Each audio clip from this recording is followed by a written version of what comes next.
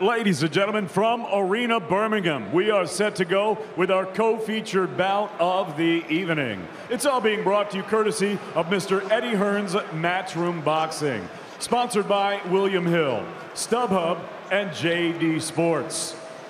Your timekeeper for this bout is Brian Heath, and at the sound of the bell, the third man in the ring from Newark is Kevin Parker. And now, ladies and gentlemen, 10 rounds of boxing scheduled in the super welterweight division. Introducing first, fighting out of the red corner, he wears the brown with gold trim. He weighed in at 11 stone, 1 pound. His professional record 11 victories against two defeats. He has seven wins coming by way of knockout fighting out of Dar es Salaam, Tanzania. He is the former WBA Pan African Super Welterweight Champion. Please welcome Hassan Champez, one time Mwakinyo. Mwakinyo. And his opponent across the ring fighting out of the blue corner. He wears the black with the silver stripe. He scaled at a ready 10 stone, 13 pounds. His professional record 23 victories against four defeats. He has 15 big wins coming by way of knockout. He is the former WBC International Welterweight Champion and the former West Midlands, Commonwealth, British, and European Welterweight Champion and is the reigning IBO Continental Super Welterweight Champion fighting out of Birmingham, England. Introducing the Savage, Sam Eggington. Eggington. Both know the rules. I expect a clean contest. Watch your heads. Don't want any low blows. Remember to obey my commands at all times. Above all, protect yourselves at all times. Ten rounds. Touch gloves. Touch gloves. Touch gloves. Back. Real support here for one of the current circuit's real attractions. Stourbridge is exciting, no nonsense, down to earth. Sam Eggington, he's already surpassed so many to become a British Commonwealth and European champion. He's had four defeats, he's not perfect, but he's still just 24. Can you believe it? What a ride we've had with Eggington already as he tackles here Hassan Mwakinyo from Tanzania. Well, we've seen Eggington that much, and it just feels a lot older because his career's been so dramatic. But he's come on leaps and bounds, and now we believe that he's solid enough and good enough to step up to that sort of European level and maybe beyond. We'll wait, eagerly wait to see that. But um, he's got to get this job done tonight because the future could be very bright for him. 28th fight for Eggington, the 14th for Mwakinyo from the east coast of Africa from Dar es Salaam, Tanzania. 11 victories in his 13 appearances, two defeats. We don't quite know what to make of him. He's fit, but he's taken this at short notice. He's come with a small entourage. And he's young at 23, so fresh. Yeah, he's obviously confident, quite brave, because he would have had a good look at Sam Eggington, who looks physically more imposing, looks bigger and stronger in there. And if he feels stronger when he's backing up Mwakinyo, he will just let his big shots go, body and head. We've seen Sam Eggington, he's, he likes to finish, he likes to um, dazzle the fans. Just backing Mwakinyo up here. Probably looking for big shots very early on. The styles he tends to have issues with, Eggington. Now the movers, Bradley Skeete, Mohamed Mimoune for that European welterweight title, which he lost, surprisingly really, in Manchester. But a couple of uh, recent victories up in the super welterweight division now, and I think it was a real struggle for him to get down to 10-7. He looks big at 10-13 now, doesn't he? He does, yeah. He's doing the right thing here this evening, you know, building himself up at super, super welterweight, trying to put himself in the mix for a big fight, so he doesn't want to be slipping up here or even look like he's struggling here tonight. I mean, I think after speaking to his cornermen, then they're expecting quite a conclusive victory, but you can never be too sure. Yep, sometimes you're never quite sure. When you see the name Hassan Mwakinyo and you look at the record and you can't read too much into it. He has travelled before. Botswana and Russia he's appeared in. First time to the UK. A little bit of a mystery man, but just catches Eggington there. And Eggington felt it. And there's occasionally some vulnerability about the Savage. And the Tanzanian found it here, and he's backed up Eggington right at the end of the first. What about that?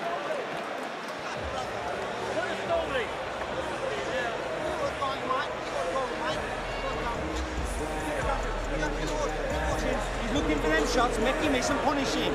Don't do that shit, okay? Out. Legs. Now relax now. Sam, I want your head moving and your jab working. He's young and he's fresh. Let's take it out of him. You feel okay? Just caught a silly one there. A silly one. I don't want to see that again, right?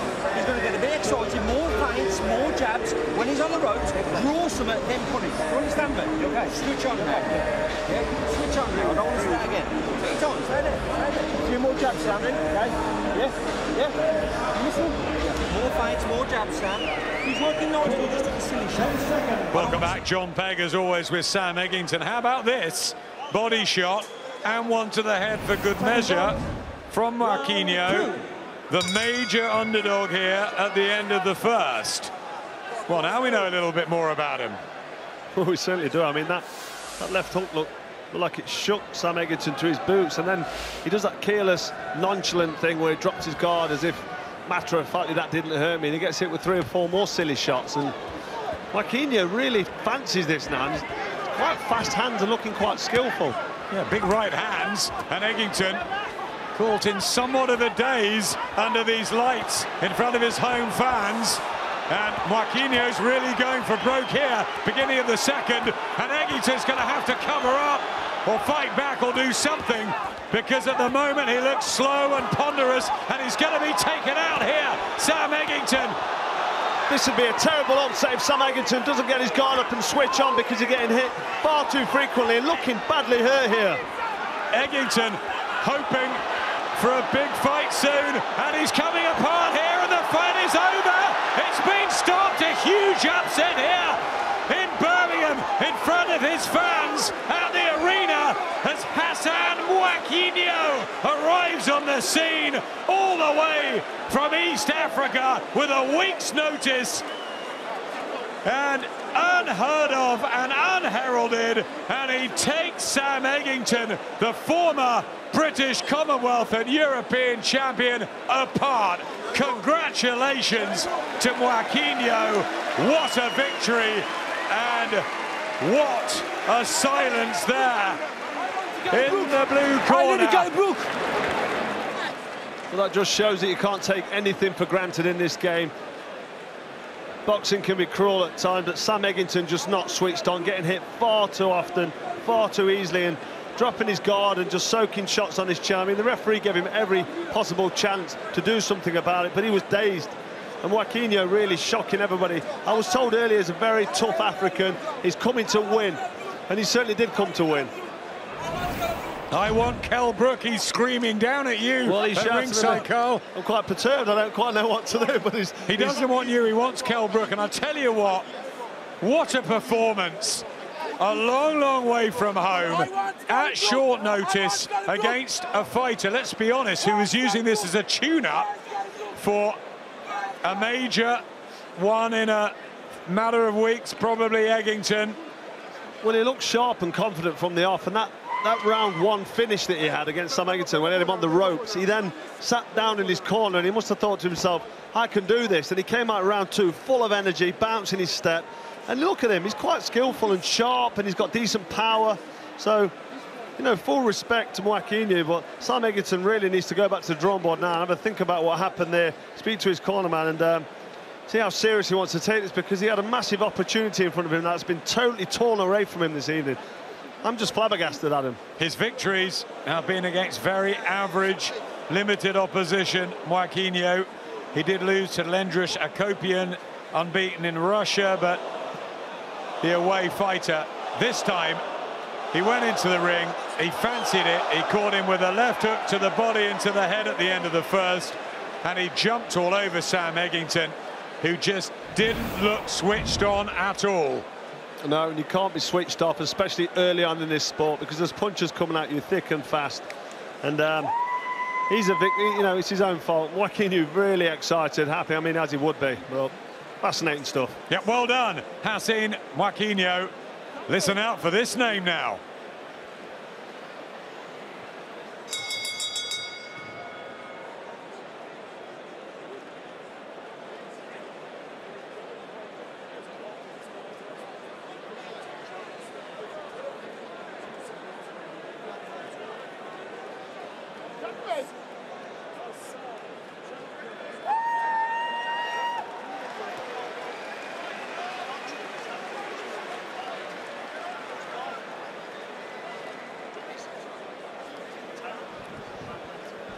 Apologies for the loss of sound.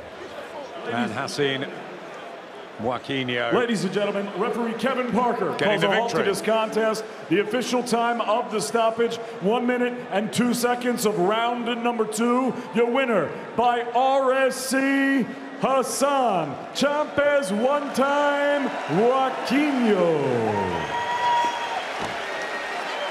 Congratulations to the Tanzanian camp. But what next for Sam Eggington? That's a terrible defeat in front of his home crowd.